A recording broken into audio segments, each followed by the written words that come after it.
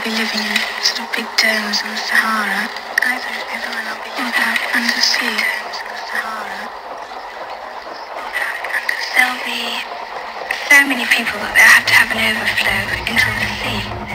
So many people that they'll have to have an overflow. And so there'll be houses underneath the sea, but houses above the sea. So there'll be houses underneath